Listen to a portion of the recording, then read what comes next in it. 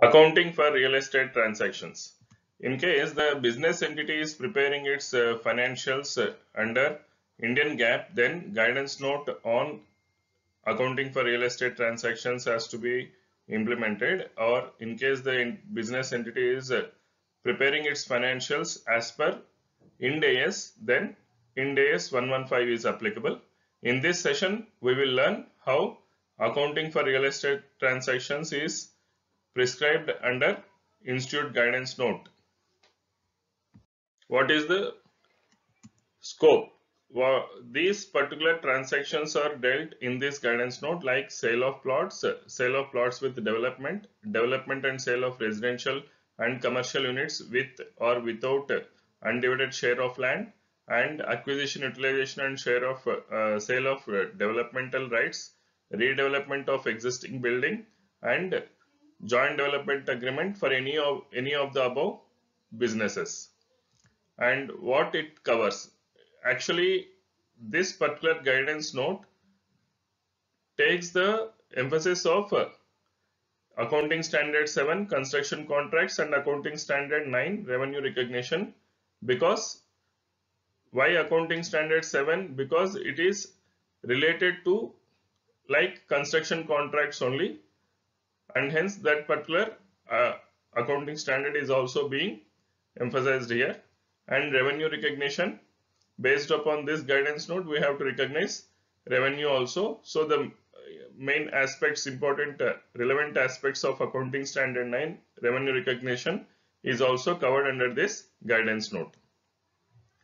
Next what is the out of the scope of this particular guidance note is accounting standard 10 accounting for fixed assets. Suppose if this particular contract is going to be a fixed asset of the entity, then we should not follow this guidance note. It, uh, it should be accounting standard 10. Accordingly, in case of government grants, in case of leases and intangible assets, this particular guidance note should not be used and respective accounting standards has only to be adopted. As per this guidance note, percentage of completion method has to be used if the following four criteria has been satisfied by any entity. One is all critical approvals necessary for commencement of the project have been obtained. So there as per the guidance note it says that all approvals which are required for execution of this particular project has to be received. So what are that they have defined I mean they have listed in the guidance note few items. One is environmental and other clearances, approval of plans, designs, etc., title to land or other rights to development construction and change in land use. We have to check whether these conditions are satisfied. Next, stage of completion is equal to or beyond 25%. The completion of the project as on the date of reporting should be equal to or more than 25% then this revenue and cost has to be recognized as per this guidance note otherwise no. At least 25% of the saleable project area is secured by contracts or agreements with buyers. So total project has out of the total project 25% of the project has to be secured by contracts or agreements. That means there is a confirmed customer or confirmed sale agreement with the customers in order to implement this particular guidance note. And next, and the last one, fourth one is at least 10% of the total revenue as per the agreements of sale or any other legal enforceable documents are realized at the reporting date in respect of each of the contracts. So whatever the contracts have been entered, of which 10% is realized or secured then this particular guidance note can be implemented. So all these four conditions has to be satisfied. In case of first point, it is not necessary that those four points are only to be seen depending upon the type of the project. We have to ensure that critical approvals for the execution of the project has been received by the entity. Then we can consider this particular guidance note for recognition of revenue and cost. Guidance note further defined what are project costs. Cost of land and cost of developmental rights, borrowing cost, construction and development cost which include land conversion costs, municipal sanction fee, building permissions, material and contractual payments, technical professional charges, estimated rectification and guarantee work including expected warranty costs, especially this particular point estimated rectification and guarantee work including expected warranty costs. See this particular point is very important because in in execution of the project there may be some equipments which are installed like air conditioning, diesel generator sets and any say STP all these things they may have some warranty cost also which is paid at the inception of the contract. Then that cost also has to be included. Say for example in the recent years we have got even this RERA. Under RERA we have to ensure that there is 5 years warranty to the consumer in that case when I issue a contract to the vendor then I will include this 5 years warranty also then obviously his price will be hiked to that extent. So that cost also forms part of the project cost that also can be considered under project cost. Next claims from third parties. Suppose when I am developing there may be certain claims from adjacent sites or from neighbors. So those claims also is required so it has to be considered as project cost and insurance. There may be various insurance taken like workman compensation or uh, car policy. All these insurance and property insurance while construction. All these things will form part of the construction cost. Project cost. Next water, it further defined water project revenues. Project revenue are revenue on sale of plots undivided share. It depends upon type of business what the entity is doing. Then accordingly that forms part of the revenue. Sale of finished and semi-finished structures. So if there are any finished or semi-finished structures and we are selling that, then that also to be considered as revenue. Consideration for construction of flat amenities and interiors. In case of flats, the sale of flats or any amenities associated with the flats. And in case if we are giving any interior works along with the flat all this uh, uh, collection will be considered as revenue and as per the guidance note. Consideration for parking spaces. Along with the flats the builders developers sell the parking spaces also. The money collected towards parking space also will be considered as revenue and sale of development rights in case if the business is of if the uh, business uh, business entity entity has got some developmental rights and they have sold certain developmental rights to somebody else then that also forms part of the revenue as per the guidance note. Project revenues are measured as the consideration received or receivable. It is accrual basis whether it is received or not. It has to be considered as revenue for the purpose of the calculating revenue as per the guidance note and Further, the guidance note has specifically mentioned what cost doesn't form part of this particular project cost. That is general administrative cost. This is a general cost not specific to project. So this will not apply.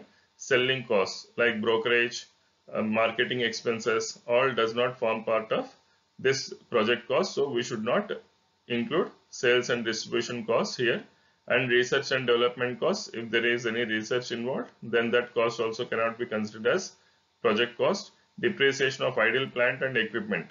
Suppose if I have if I have deployed some equipment for the purpose of the project, for some reason if the project was uh, stayed during some period, then the depreciation for that particular period should not be charged to project, it should be charged to P&L directly as a idle time cost. It cannot be added to the cost.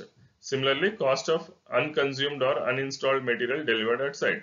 Suppose if I procured some material which is not consumed yet, then that should not be form part of project cost. It should be shown as inventory under current assets and advance payment to contractors. If any mobilization advance or advance against supply of material is paid to the contractor, then that also doesn't form part of the project cost. It is very specifically given in the guidance note and accordingly we have to consider what is the total cost of the project and what is the total revenue of the project under the guidance note.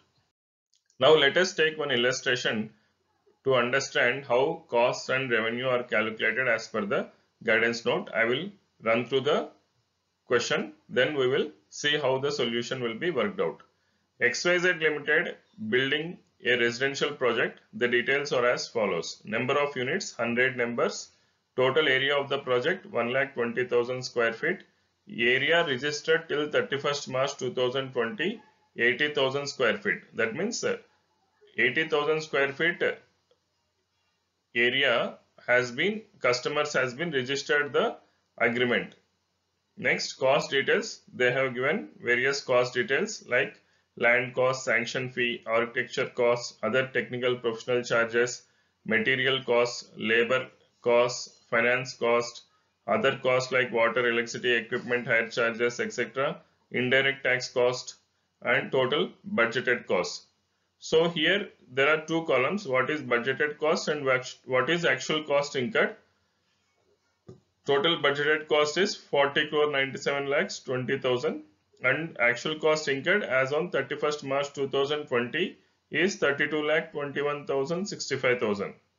Further they have given brokerage costs incurred 1 one and a half crore revenue of sold units is 45 crores and revenue from registered units 40 crores. See why they have given revenue of sold units and revenue of registered units is if you refer to four points of criteria they have sold they have told that units I mean registered agreements where there are registered agreements. So we have to consider 40 crores. We should not consider sold units of 45 crores because worth of 5 crores worth of customers have not registered their agreement. So the return, I mean, they may cancel at any point of time. There is an uncertainty in revenue recognition and hence we should not consider 45 crores. We should consider only 40 crores. Now, what is the question? Calculate the following assuming XYZ Limited is making financials under IGAAP. So, we have to follow the guidance note cost and revenue to be recognized is for financial year 1920 and closing inventory as on 31st March 2020. What is the cost of goods sold and what is the value of uh, sale revenue that to that to be considered for financials of March 2020. We will learn step by step. First step is computation of percentage of completion. Percentage of completion can be computed by dividing actual cost with budgeted cost into 100 then we arrive at what is the actual percentage of completion of the project. So as per the numbers given it is 78.63% is the project completed as on 31st March 2020. Now second step computation of revenue for financial year 1920. If you refer to the problem the value of 40 crores and 45 crores is given with respect to total agreement value. It is not the revenue for the current financial year. All these projects usually are run over period of time more than 12 months. This, this is a long duration projects. Mostly these projects are done more than a one financial year. So, as per the guidance note, we have to arrive at what is the revenue that has to be recognized for this particular financial year and it is always calculated on cumulative basis and then we will deduct whatever recognized if anything recognized in the early, previous earlier years. Then we will arrive at what is the net to be considered for revenue for this particular year. Similarly cost also. So whatever working we are doing is on cumulative basis as on 31st march 2020 in case as on 31st March 2019, any revenue is already recognized on this project, then to that extent we have to deduct and net amount only has to be considered in this financial year. So the 40 crores is, is the total revenue of which what is the percentage completion? 78.63. So my revenue for the cumulative basis as on 31st March 2020 is 31 crore 45 lakh 22,112. Suppose if in the problem if any amount is given that the revenue is uh, considered as on 31st March 2019 then to that extent we have to deduct and net amount has to be taken as revenue in the current financial year. Otherwise, it is the total revenue to be considered for this financial year. And this particular 40 crores is taken as informed you earlier. It is a confirmed registered units and hence we have considered on 40 crores not on 45 crores. This point has to be noted here. We have learnt what is the revenue to be recognized for March 2020. Now let us compute what will be the cost corresponding to that particular revenue. Now as per the given problem, total project area is 1,20,000 square feet whereas the area registered that is confirmed sales is 80,000 square feet. The total cost incurred on the project as on 31st March 2020 is 32 crore 21 lakh 65,000 this particular cost is incurred on total area of 1 lakh 20,000. This is to be noted very clearly. This particular cost, whatever the cost has been incurred, it is incurred on the overall project. It is not on 80,000 square feet or 90,000 square feet. It is incurred for the entire project of 1,20,000 square feet as per the project. So, we have to find out what is the square feet rate of cost incurred as on 31st March 2020. So total cost incurred as on 31st March 2020 that is 32 crore 21 lakh 65,000 divided by 1 lakh 20,000 total project area saleable area of the project. So it comes to 2684.71 pies per square feet. And now what is the confirmed area which is sold? It is given in the problem 80,000. So we have to multiply this cost incurred per square feet that is 2684.71 pies into 80,000 square feet we, we, we get an amount of 21 crore 47 lakh 76,667. This is the total cost attributable to the revenue which was recognized earlier of 31 crores in previous slide. So this is the how cost is calculated. Please understand the total cost incurred till the date of reporting divided by total project area or saleable area has to be calculated in order to multiply with confirmed sold, sold area to arrive at total cost to be recognized.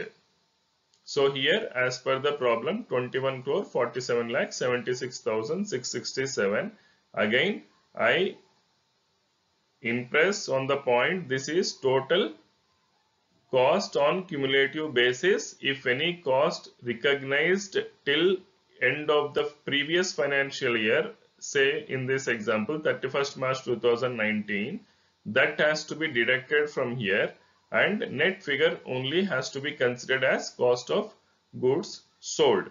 In the given problem no such information is given so we presume nothing was recognized until financial year 2019 March and hence the entire amount will be considered as cost for March 31st March 2020. Now what is the value of inventory to be taken to current assets? Okay. Now total cost incurred is given 32 crore 21 lakh 65,000 less cost recognized to P&L for 31st March 2020 which we have calculated in step 3 that is 21 crore 47 lakh 76 667 so balance whatever the cost incurred and which is not recognized Uh, in P&L will be 10 crore 73 lakh 88,333 so this will go as inventory of unfinished goods unfinished flats in balance sheet under current assets. Couple of important points to be noted here. One is that the revenue whatever we have recognized in the give as per the given example is 78.63 percentage based upon the percentage completion method. Now we have to check whether 80,000 square feet confirmed customers have been billed to the extent of 78.63%. In case if they have not billed to the extent of 78.63 then it is necessity to create notional debtors for the reason being without having created the advance in the books of accounts it is difficult we cannot create we cannot account for revenue that is the reason we have to create notional debtors provided if the customers have not billed to the extent of percentage of uh, revenue recognition. So now here I am quoting you the entry that notional debtors account debit to installment received in advance. This particular entry is necessarily to be passed in case the customers have not billed equivalent to 78.63. If they have they are billed more than that percentage, then well and good, there is no further adjustment is required. Otherwise, this particular difference has to be identified and to that extent we have to create notional debtors. Next, another important point is that there may be certain customers on whom we have recognized revenue and subsequently they may cancel. In such cases, then in any of the financial years there may be a negative revenue also then in such cases we have to immediately report that negative revenue to P&L. So these two points have to be noted. Hope you understood this particular working. Keep watching my YouTube channel and share to relevant people. Thank you.